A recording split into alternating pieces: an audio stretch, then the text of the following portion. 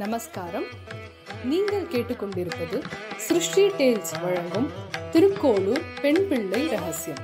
கதை சொல்லி திருமதி வேதா நம்பிராஜன். என் அன்பான குழந்தைகளா வேதா பாட்டியோட பெருமையான உலகத்தில் நம்ம திருக்கோளூர் தோழி எம்பெருமானார்கிட்ட சொல்கிற வாக்கியம் அக்கறைக்கே விட்டேனோ குகப்பெருமானை போல. ராம லக்ஷ்மண பரத சத்ருக்னர்கள் சகோதர ஒத்துமைக்கு மிகச்சிறந்த உதாரணம். இதில் ராமர் ஒரு தாழ்ந்த ஜாதிக்காரனை தன்னோட தம்பியாக ஏத்துண்டர் தன்னோட சகோதரனா ஏத்துண்டர். அப்படிப்பட்ட பெரிய பாக்கியம் அடைஞ்ச ஆள் யாருன்னு பார்ப்போமா? கோசல நாடு மிகப்பெரிய நாடு பறந்து விரிஞ்சு இருக்கு அந்த நாட்டுக்கு பக்கத்தில் பெரிய காடு ரொம்ப பெரிய காடு. அதே பக்கத்தில் அருமையாக கங்கா நதி ஓடின்னு இருக்கு இந்த பெரிய காட்டு பிரதேசத்துக்கு தான் அரசன் குகன். அவன் தன் வேடுவ ஜாதியோட அந்த காடுகளில் அதாவது அந்த நிஷாத நாடில் இருக்கிற காடுகளில் வேட்டையாடிண்டு கங்கையை யாரெல்லாம் தாண்டனம் அக்கறைக்கு போகணும்னு ஆசைப்படுறவாளை படகு ஓட்டி அக்கறைக்கு சேர்த்துண்டும் வாழ்ந்துட்டு வந்தான். இந்த காலகட்டம் தசரதர் சக்கரவர்த்தியாக கோசல நாட்டை ஆண்டுருக்கார் ராமர் சின்ன பிள்ளை. அவர் என்ன பண்ணுவார்? தன் சகோதரர்களோட இந்த நிஷாத ராஜ்யத்தில் இருக்கிற காட்டுக்கெல்லாம் போய் வேட்டையாடிட்டு வருவார். இதை குகனும் அப்போ சின்ன பையன்தான் தூரத்துலேருந்து பார்ப்பான் ராமரோட அழகையும் தேஜஸையும் பார்த்து அவரோட நண்பனாயிக்கணும்னு ஆசைப்பட்டான் மெல்ல மெல்ல நெருங்கினான் அவரை அடுத்தான் ராமரும் அவனை தன்னோட நண்பனா சேர்த்துண்டார். அதுலேருந்து ராமரும் குகனும் ரொம்ப சிறந்த நண்பர்களாக இருந்தான் இப்படி நாளடைவில் குழந்தைகள் பெரியவாளானா ராமருக்கு கல்யாணம் ஆகி சீதையோட அவர் கோசல நாட்டுக்கு வந்துட்டார். நிஷாத நாட்டுக்கு இப்போ குகன் தான் அரசன். ஒரு நாள் குகனுக்கு ஒரு செய்தி வந்தது. ராமருக்கு அடுத்த நாள் பட்டாபிஷேகம் நடக்க போகிறது குகன் ரொம்ப சந்தோஷப்பட்டான். என் நண்பன் சக்கரவர்த்தியாக போகிறான் நம்ம அந்த வைபவத்துக்கு போகணும் அப்படின்னு தீர்மானிச்சுட்டான். ஆனால் என்னாச்சு? அடுத்த நாளே ராமர் லக்ஷ்மணர் சீதை மூணு பேரும் மரவரி துரிச்சுண்டு நிஷாத நாட்டுக்கே வந்துட்டான் ராமர் வரான்னு தெரிஞ்சோடனே அவன் தன் பந்து மித்திர பரிவாரங்களோட ஓடி போய் ராமரை எதிர்கொண்டு அழைச்சு தன்னோட வீட்டுக்கே கூட்டிட்டு வந்து வச்சான் ராமர் கேட்டார் குஹா சௌக்கியமா இருக்கியாப்பா? உன் நாடெல்லாம் நல்லா இருக்கா? குகம் சொன்னா நாங்கள் உன்னோட அருளால் ரொம்ப நன்னா இருக்கோம் ஐயா. ஆனால் உன்னை பார்க்கறதுக்கு தான் எனக்கு ரொம்ப வருத்தமாக இருக்குது ரொம்ப கஷ்டமாக இருக்குது அப்படின்னா அதுக்கு ராமர் சொல்லுவார் குஹா பித்ருவாக்கிய பரிபாலனம்ங்கிறது ரொம்ப பெரிய பொறுப்பு. அதை செய்யணும்னு நான் ஆசைப்பட்டு வந்திருக்கேன். இதில் வருத்தப்படுறதுக்கோ துக்கப்படுறதுக்கோ ஒன்றுமே இல்லைப்பா. அப்படின்னு அவர் சொன்ன உடனே குகன் நினைக்கிறான் முதல் நாள் உனக்கு பட்டாபிஷேகம்ங்கிறா அதுக்கும் ராமர் சரிங்கிறார். அடுத்த நாள் உனக்கு பட்டாபிஷேகம் கிடையாது. காடு தாங்கிறா.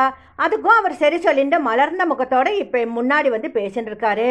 எப்படி ஒரு மனப்பக்குவம் எப்படி ஒரு விசாலமான மனசு எதையும் சரிசமமாக எடுத்துக்கிற இந்த பாங்கு குகனுக்கு ரொம்ப பிடிச்சது. அவன் சொன்னா ஐயனே இந்த நிஷாத நாடு உன்னோட நாடு. நீ இந்த நாட்டுக்கு தான் தலைவன். இனிமேலேருந்து நீ இங்கே இருந்து ஆட்சி பண்ணு. உனக்கு சேவகர்களாக இருக்கிற பாக்கியத்தை எனக்கு தாப்பான்னு கெஞ்சி கேட்டுண்டான். ராமர் நினைக்கிறார் உனக்கு நாடு கிடையாது. காடு தான் அனுப்பினா இங்கே ஒருத்தன் என் ராஜ்யத்தை எடுத்துக்கோன்னு சொல்லிட்டு இருக்கானே மகன் மனசு ரொம்ப நெகிழ்ந்து போயிட்டார் அவர். குகன் அப்படியே சேர்த்து தன்னோட கட்டி அணைச்சுண்டார் நாங்கள் இதுவரைக்கும் நாலு சகோதரர்கள் இருந்தோம். இப்போ ஒன்னோட சேர்ந்து அஞ்சு பேர் ஆயிட்டோம்ப்பா அப்படின்னு ராமர் சொல்லிட்டு சொல்லுவார். குஹா எந்த காரியம் செய்யறதா இருந்தாலும் அதை முழு மனதோட நியாயமா நேர்மையா உண்மையா செய்யணும். காட்டுக்கு போகிறேன்னு சொல்லிட்டு நான் இங்கே வந்து பதினாலு வருஷம் சந்தோஷமாக இருந்துட்டு நானும் காட்டுக்கு போனேன்னு சொல்லக்கூடாதுப்பா. அது நியாயம் இல்லை. காட்டுக்கு போகிறதுனா காட்டுக்கு தான் போனோம் அதோட விதிமுறைகளை கடைபிடிச்சு தான் வாழ்ந்துட்டு வரணும். ஆனால் நீ எனக்கு ஒரு உதவி செய்யணும். நாளைக்கு இந்த கங்கை ஆற கடக்கிறதுக்கு எனக்கு நீ படகு ஓட்டி என்னை அக்கறையில் கொண்டு சேர்க்கணும். அப்படின்னு ராமர் சொன்னார். ராமரும் குஹரும் பேசிட்டு இருக்கிறச்சேவே லக்ஷ்மணன் அழகா ஒரு புல் மெத்த பண்ணி கொடுத்தார். ராமரும் சீதையும் அங்கே படுத்துக்க போயிட்டா. அதுக்கப்புறம் குஹன் லக்ஷ்மணர்கிட்டேருந்து எல்லா விவரங்களையும் தெரிஞ்சுட்டான் நாட்டில் நடந்த எல்லா விவரங்களையும் புரிஞ்சுட்டான் அடுத்த நாள் காத்தால ஆச்சு. ராமர் காத்தால எழுந்து காலை கடன்கள் எல்லாம் முடிச்சுட்டு லக்ஷ்மணர்கிட்ட லக்ஷ்மணா ஆலம்பால் கொண்டு வா. நம்ம தலைமுடியை ஜடையாக்கிக்கணும்னு சொன்னார். அதே மாதிரி அவர் ஆலம்பால் கொண்டு வர எல்லாரும் தலைமுடியை ஜடையாக்கிண்டா. அதுக்கப்புறம் ராமர் சொல்லுவார் குஹா என்னை இப்போ அடுத்த கரையில் கொண்டு விடுறியாப்பா? அப்படி சொன்ன உடனே இத்தனை மேன்மையா பெருந்தன்மையா புருஷோத்தமனா இருக்கிற ராமருக்கு ஒரு பணிவிட செய்யணும்னு குகன் ஆசைப்பட்டான். படகு கிட்ட போய் நின்னான் தயங்கி தயங்கி நின்னான். ராமர் கேட்டார் என்ன குஹா இப்படகுல ஏற வேண்டாமா? அப்படி சொன்ன உடனே ஐயனே கல் மேல கால் பட்டே பெண்ணாக்கினவன் நீ. என் படகுல உன் கால் பட்டு பெண்ணாயிடுதுனா என்னையா செய்ய? அப்படின்னு கேட்குறான் அதுக்கு ராமர் சிரிச்சுட்டே சரி நீயே சொல்லு என்ன செய்யலாம்? அப்படி சொன்ன உடனே குகம் சொல்கிறான் உன் கால அலம்புற பாகியத்தை தாயா? அப்படி சொன்ன உடனே அவரோட அவரை ஒரு இடத்துல உட்கார வச்சு அவரோட பாதங்களை ஜலம் விட்டு அழகாக அதை அலம்பி விட்டு அந்த ஜலத்தை தன் தலையில் புரோக்ஷணம் பண்ணிட்டு பூவெல்லாம் போட்டு ராமரோட பாதங்களை பூஜிக்கிறான். அதுக்கப்புறம் ராமர் சிரிச்சுட்டே அழகா படகுல ஏறிக்கிறார். கைலாக கொடுத்து சீதாமாவையும் தன்னோடையே ஏற்றிக்கிறார் காட்டுக்கு அவசியமான பொருள்களை எடுத்துட்டு லக்ஷ்மணனும் படகுல ஏறிக்கிறான். ஏலேலோ பாடிண்டு குகன் அழகா படகை நிதானமாக ஓட்டுறான். அப்போ போகிற வழியில் லக்ஷ்மணரோட முகம் ரொம்ப வாடி இருக்கு. அப்போ ராமர் நினைக்கிறார் இவனை ஒன்று சந்தோஷப்படுத்தணுமே. சொல்லிட்டு லக்ஷ்மணா நான் இப்போ கங்கையோட கதை சொல்ல போகிறேன்ப்பா சொல்லிட்டு கங்கையில் போயின்னு இருக்கிறச்சேவே கங்கையோட கதை அதாவது விஸ்வாமித்திரர் இவாளுக்கு சொல்லி கொடுத்த கதையை அழகா ராமர் சொல்றார். கேட்டுண்டே இவா அக்கறையில் போய் சேரறா. அக்கறையில் சேர்ந்த உடனே ராமர் அப்படியே குகனை கட்டி தழுவிண்டு குகனுக்கு விடை கொடுக்கிறார்.